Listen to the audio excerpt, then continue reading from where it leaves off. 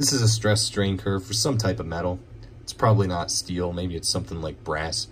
I don't know. The exact type is not important, but hopefully you recognize this as a metal.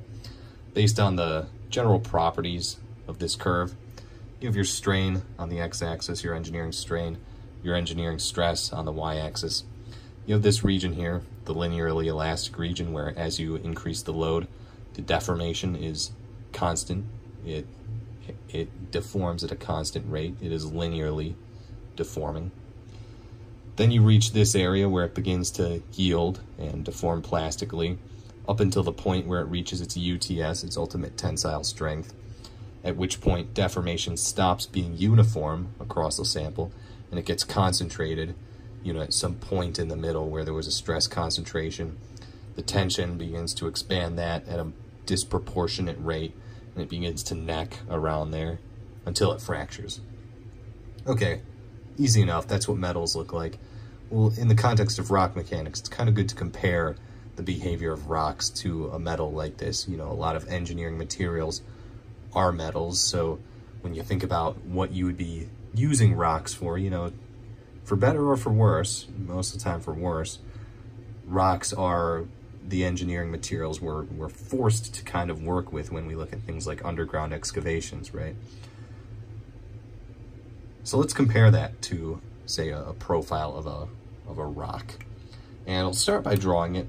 And I will note here, uh, this, for the metal, positive stress was tension. For the rock, I'm going to say it's compression. So think of, for this curve, we said as stress is increasing, that's tension. For the rock, think of it as an increasing compressive load, just because that's more useful to compare because rocks behave quite poorly in, uh, in tension because they have cracks that can be expanded and cause them to fracture really early on. So we start here, you'll note, okay, this is the linearly elastic region, simple enough. We can do a quick comparison here. For most rocks compared to most metals that we would be using for actual applications, it's going to have a lower Young's modulus, right? You know that the slope of this line here, that's going to be given by E, the elastic modulus. So the slope here is the same. We'll call that E sub m for the metal. We'll call this E sub r for the rock. So you'd say, okay, the elastic modulus of the metal is higher, and that is true in most cases. Now, a distinction to note here is that for most, you know, rocks behave most similarly to ceramics as materials because they're composed of minerals, which have a lot of covalent and lattice, eh, lattice, excuse me, ionic bonds within them, as compared to metals, which have metallic ones. But rocks are a very specific kind of ceramic, as in they're naturally forming. So a lot of the ones that you've taken material science courses, you may have seen a typical ceramic, you know, they say it's got a higher slope, you know, a higher modulus of elasticity and a higher uh, yield stress, which for ceramics is usually the ultimate stress than metals. But for rocks, that's not really true because well, they're naturally occurring and we haven't engineered them to have these specific desirable properties such as strength. So at this point, you know, it's, it's, it's got a lower modulus of elasticity and its strength here, we'll, we'll say the yield strength for now, but I'll explain why it's kind of moot to describe it in that way. Right here is, is still lower than it, what it is for the metal.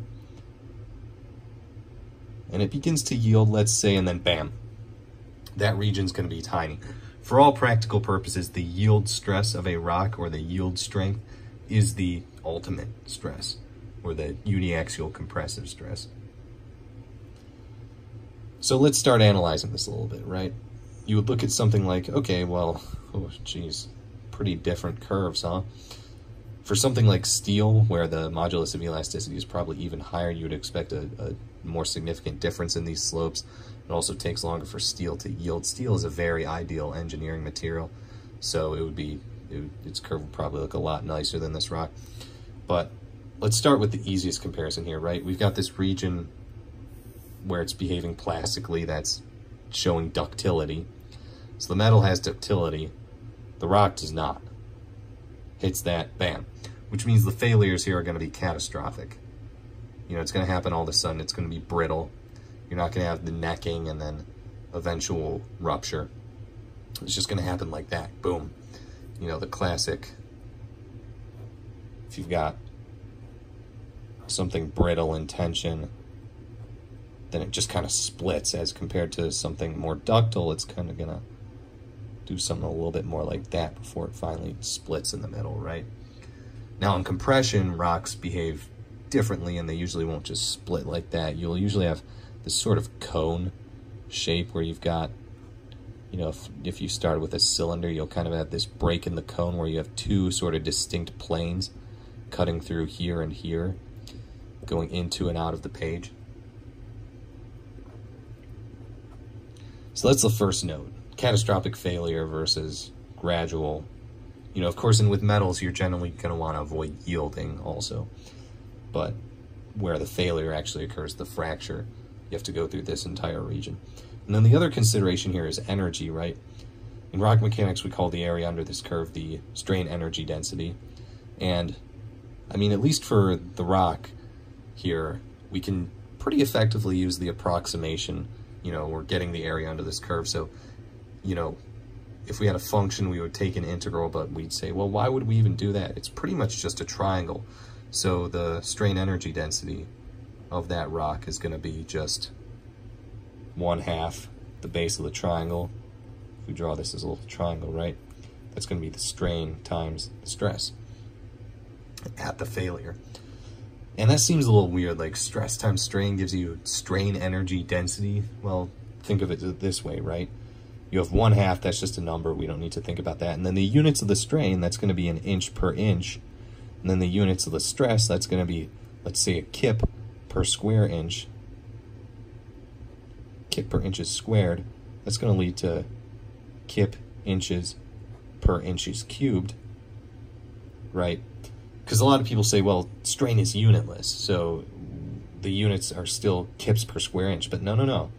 Think of it this way, and all of a sudden you say, okay, that's a unit of energy. And on the bottom, of course, some length cubed, that's a unit of volume. Oh, going off the page here. That's a unit of volume. So it is indeed an energy density.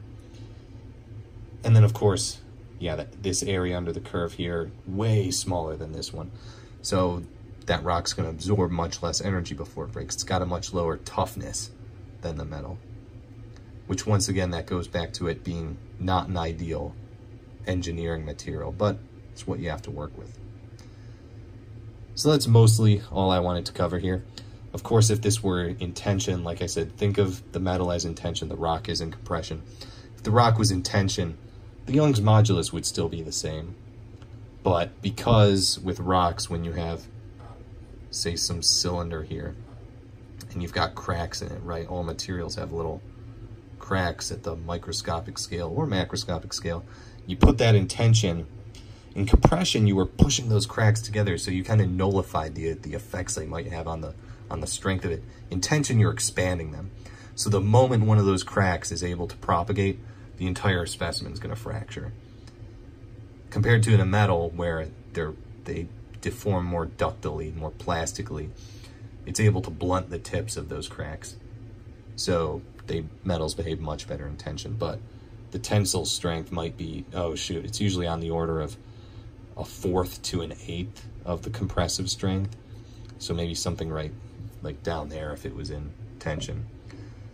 But I think that'll do it for this video. Hopefully it was informative, otherwise good review. And keep rocking out.